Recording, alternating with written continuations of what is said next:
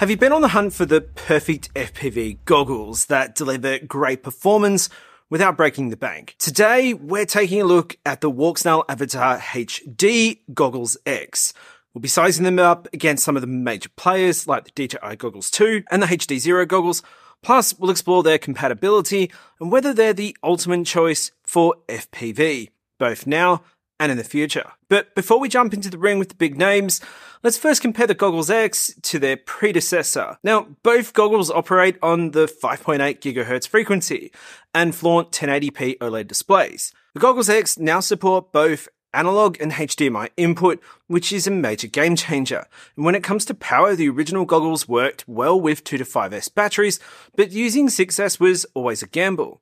The Goggles X does change that, confidently supporting up to 6S power input. But there's still even more. Equipped with Wi Fi and Bluetooth, which paves the way for future software updates to unlock smartphone connectivity.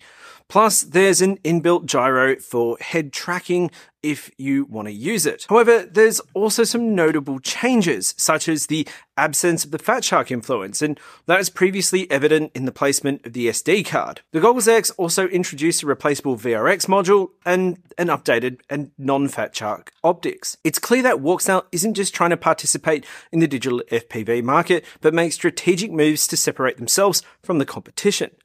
When you stack them up against the higher priced DJI uh, Goggles 2, the Goggles X really do offer a lot of value for money. They're like the Android of the FPV world. Think of them as like the OnePlus or a Google Pixel phone, offering decent enough quality at mid-range prices. And priced at 459 with the addition of air units at $159, Caddx is sending a clear message. Walksnail is financially accessible to everyone. On the other hand, DJI is also aiming to capture budget conscious conscious buyers, cutting the price of their goggles Integra to 429, although the O3 Air unit does still remain at $229.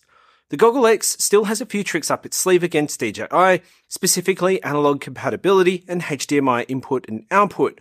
And then there's also Caddx's commitment to regular communication and software updates. Admittedly, does seem like you're part of their beta testing team. And that's especially important because Cadex is working on a new digital FPV system set to launch in August next year. Okay, so straight up I've got a bit of light leak around the bottom because I don't really have big cheeks and it sort of sits a little funny. Low.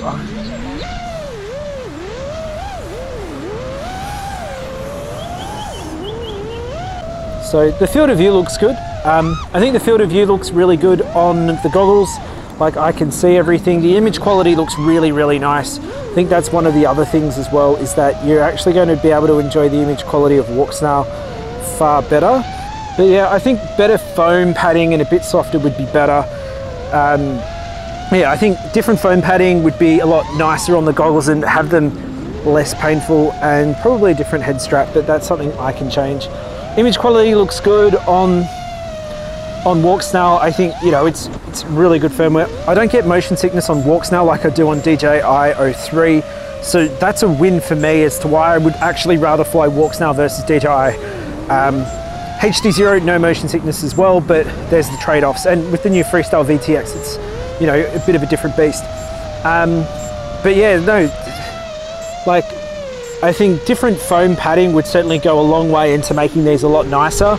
It would remove a lot of the light leak that's down here um, below my cheeks and make it just more comfortable on the face because right now it's quite painful there.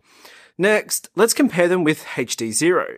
The HD Zero goggles has truly raised the bar, combining their sleek Gundam style design with open source development and extensive compatibility. They're like the Swiss Army knife of FPV goggles. However, they do come with a heftier price tag $600 just for the goggles, and if you want the analog module adapter, that raises the price to $649.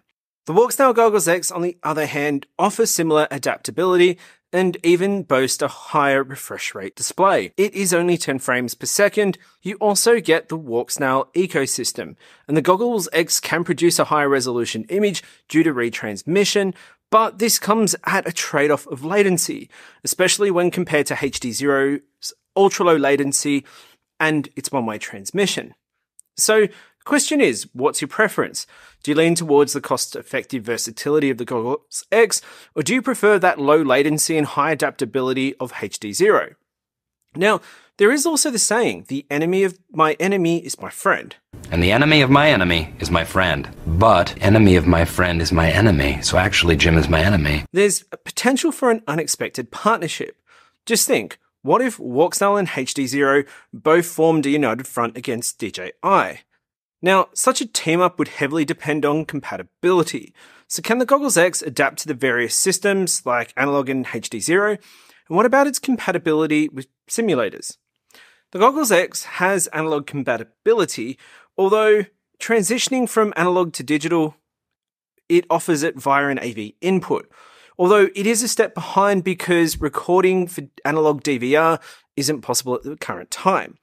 And that might change with future updates. But it is intriguing to think about the possibilities with the replaceable front plate. Perhaps a Walksnail version of the BDI Digi adapter could add better integration of analog into the Walksnail Goggles X. The HDMI input of the Goggles X really expands its capability. Connect it to the computer using a micro HDMI to HDMI cable, and you're good to go for the simulator for risk free virtual training. The HDMI functionality does allow connection to a HD Zero VRX module. So picture this HD Zero VRX that's built into a replaceable front plate that fits the Goggles X. Now, that would absolutely shake up the status quo, posing a significant challenge to DJI's dominance and bringing in a new level of adaptability to the table. Now, let's dive into the realm of the upgradable VRX module and the whole concept of future proofing. After talking to Caddx, I've learned that yes, they are developing a new digital FPV system set to launch in August next year. And this obviously raises a crucial question for current users around compatibility. Will this new system work with existing Walksnail hardware? And Caddx have confirmed it will. Your current equipment won't suddenly become outdated, meaning you have to replace a whole new fleet. However, we can't ignore the big question of longevity. With a looming upgrade in nine months, can the Goggles X withstand the rapid pace of technological change? Will they stay relevant and functional for the next three to five years? Especially with the speed at which technology is evolving.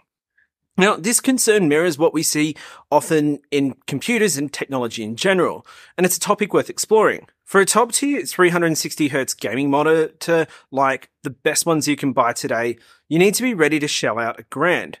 And that's not even going to get you 4K resolution. Now, imagine if this tech was in your FPV goggles. It sounds great, right? However, by the time it's affordable and able to get into your goggles, and cost around 500 bucks.